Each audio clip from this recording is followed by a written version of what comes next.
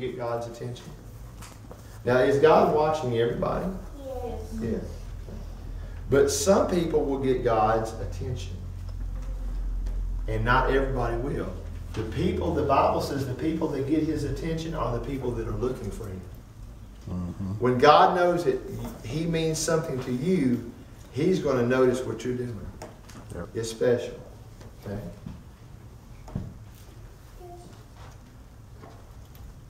David was the youngest of his brothers. And boys and girls, every day, he didn't get to go to camp.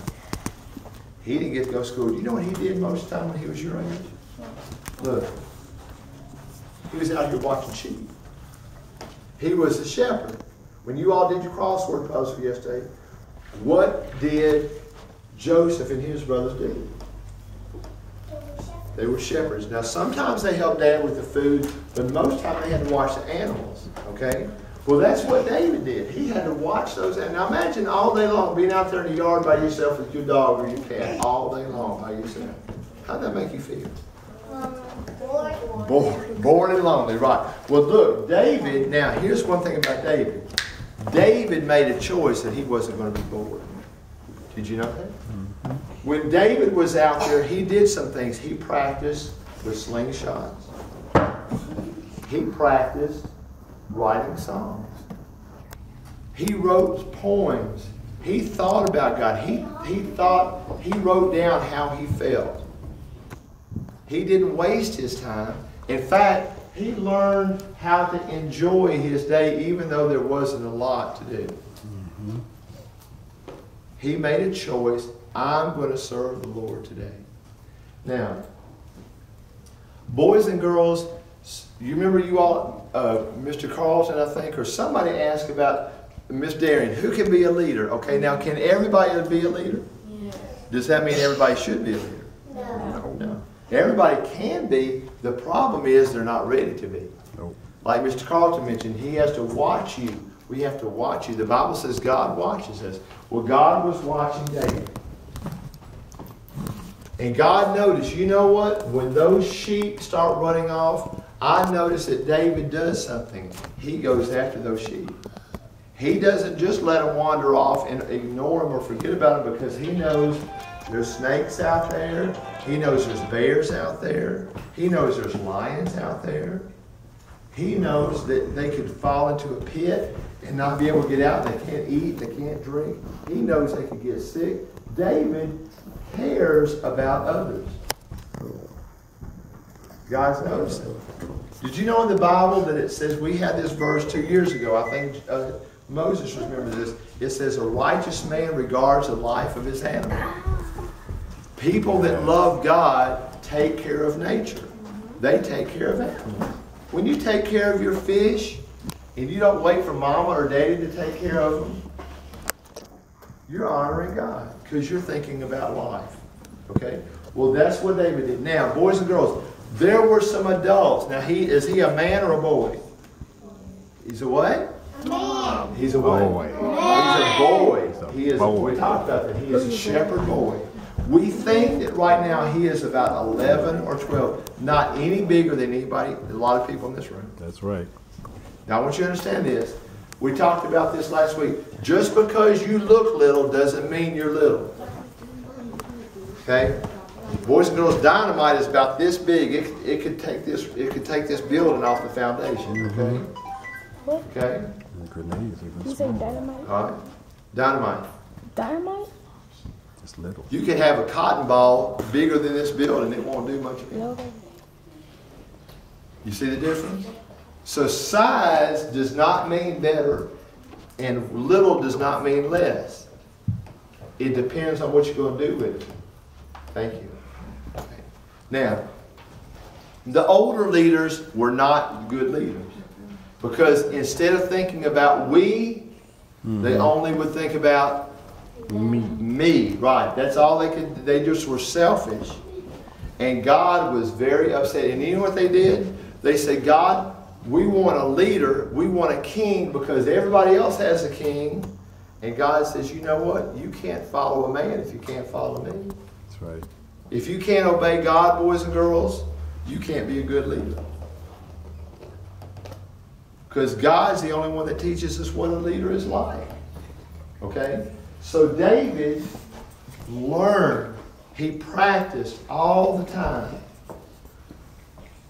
And he was, and he tried his best to love God with all of his heart and soul and mind and strength. Now, let me look, let me show you something. One day, God told the prophet, and his name was Samuel. Samuel was one of the only leaders in all of Israel that understood how much the people needed to repent. Remember we talked about this last week? When I sin, it makes everything get worse. Is that right? Mm-hmm. And it comes between me and God. And it comes between me and other people. It's like that wall. Y'all remember we talked about that wall last week? Mm-hmm. Okay, so when I sin, when I don't do my best, all it does is make a wall between me and other people or me and God. And when there's a wall there, I can't do as much. Okay? Now, God told Samuel, I, I have found a king, but he's not like the others. He is honest and he pleases me. And I know he will be a good leader. You know what the problem was, boys and girls? God didn't tell anybody his name. It didn't. Samuel said, Well, God, who is it? And he said, You're going to have to look for him. Right. Well, Saul, uh, Saul, I'm sorry, Samuel went to the house of Jacob. And Samuel and, and Samuel said, Jacob, God has told me that in this land is a is the new leader. He will be the king of a whole nation. Now, boys and girls, that's better than being president because if you're president, you're only president how long? Four years. If you're king, you're the king for how long? As long For your life. Yeah. You see? All right, you're the king for life. Well, he said, Tell me, Jacob, about your boys. And Jacob said, Oh, I got some big boys. I've got some really good boys. Look at this. He had Eliab. He had some brothers that were had been serving in the army. And they were tall and they were experienced warriors and they knew how to have weapons and they had uh, had to go on battles and they had to fight the enemy and they had all these abilities and they were older and so Samuel came, God says, not that one. Samuel came, God said, not that one. Samuel's like, I'm getting tired of looking. God, who is it that you want me to find? And God said, you got to keep what? You got to keep looking. Boys and girls, you want to find a good leader, you have to keep looking. Now, they, they wanted to say, I bet it's me, I bet it's me. Boys and girls, if you see people that want to be leaders and they always want to be noticed in front of everybody else, they will never be a good leader. Leaders wait to be chosen. I see some of you know how to do that. You, they don't jump in front of everybody else. They wait. He had eleven. He had he had all these brothers, all of them were older and bigger.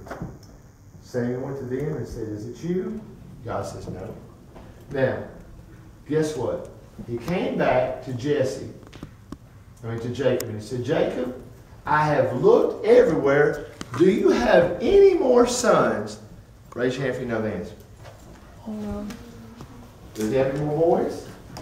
Yes. Who is it? No. David. Who is it? David. But David wasn't with the other brothers. Where's David at? Quick. Out in, Where's David at? In the field with the sheep. Sydney. And the sheep with the sheep. Right. David was doing his work. Now look, he's the youngest, he's the smallest, and nobody had to tell him, David, you're supposed to be watching them sheep. He's not running around, he's not goofing off. He is obeying what they told him. And boys and girls, he's in a dangerous place. How many of you all would let your parents would just let you be out in the field all by yourself all day? I don't think so. I wouldn't have done that with my kids. Okay? But he's out there. God said, Samuel. And Jacob said, Well, I have a little boy named David, but that can't be David. God said, Samuel, go out there and see David. So Samuel passed by all the older ones, all the bigger ones, all the ones that were smarter, all the ones that were stronger, and came to the littlest boy. This is what the Bible says.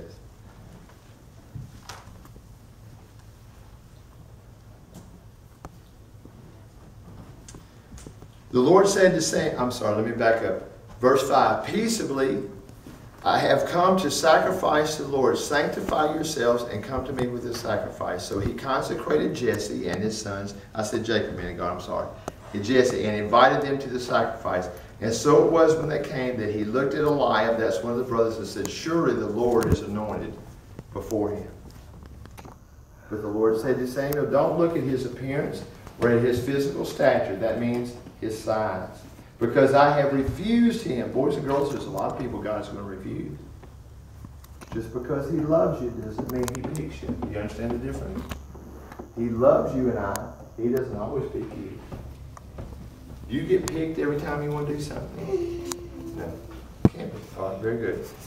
For man looks at the outward appearance. People look at what it looks like on the outside, but the Lord looks at the heart.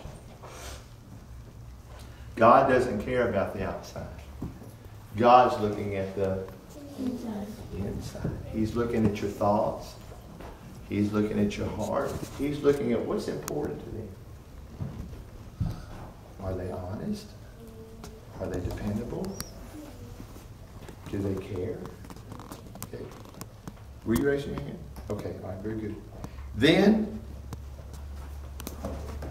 Jesse said, There remains the youngest, and there he is. He is keeping the sheep. And Samuel said to Jesse, Send for him, for we will not sit down until he comes here. So he sent and he brought him, and now he was ruddy. And that word means, boys and girls, that he was rough looking. How many of you all have played really hard outside? And when you play really hard outside, does your hair stay in place? No. Do you got to get some smudges on your face? Your shirt kind of get all bent up like this, stretched out. You need, you got your knees dirty. He was rough looking because he'd been outside working. With bright eyes, and he was good looking. And the Lord said, Arise and anoint him, for this is the one. God says, You found him. You all remember that story about Cinderella? Cinderella had to leave the ball early, but she left something when she leave. Her glass slip. And that prince wanted to find her, but he didn't have her name on the shoe, did he? And he had to go to every lady in the kingdom and do what? Try it on. Now, boys and girls, God did the same thing, but it was better than a shoe. God is looking for somebody who fits just like him, who's loving and caring, and he's looking around, and he wants us to look because that's where your leaders are. And so, boys and girls, at that, now can you imagine when he was a boy, Samuel anointed him with oil and said, David, God has chosen you to be the first in the new way. Yeah. Heads together. Dear Father, thank you for this morning. Lord God, help us this morning to love and to listen to you. Father, may we behold and notice you. And Father, may we do what's right so you can notice us. And Father, may you see something special that you have put in us today. And Lord, please don't let us disappoint you. And please don't let us disappoint others or ourselves. Help us, Father, to do what's right. And Father, like David, to Father, to obey and to do our best. Always. And Father, choose us because, Father, we want to serve you and love you in your kingdom. In Christ's name we pray. Amen. All right.